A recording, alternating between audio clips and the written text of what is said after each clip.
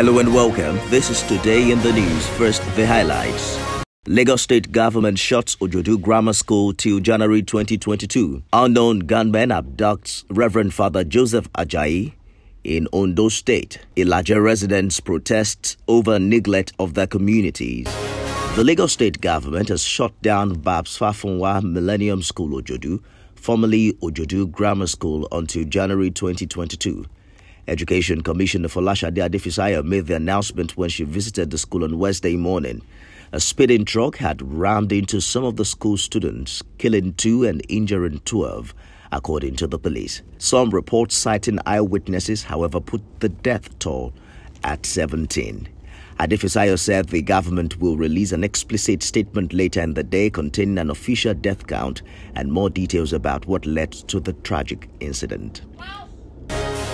Unknown gunmen have abducted Reverend Father Joseph Ajayi, the parish priest of St. Peter Claver, Ilara-Mokin, in the Ifedore local government area of Ondo State. He was kidnapped along the Akure Ikere Expressway in Ondo. The abduction of the clergyman was confirmed on Tuesday evening by the Catholic Diocese of Ondo. Reverend Father Victor Ebiyemi, who confirmed the abduction of Reverend Father Ajayi, one of the priests in the diocese to newsmen said he was kidnapped by some unknown gunmen. Scores of protesters from nine communities in Ilaje local government area of Ondo State have protested over the neglect of their communities.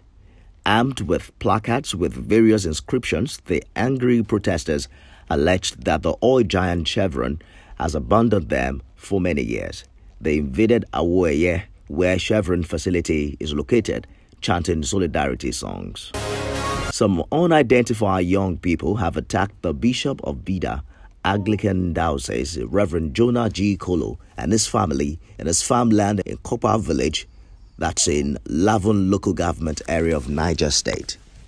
Yetu Kolo, the son of the bishop who was attacked alongside his siblings and the bishop, said the youths came with sticks and cutlasses and they sustained various degrees of injuries but nobody was killed.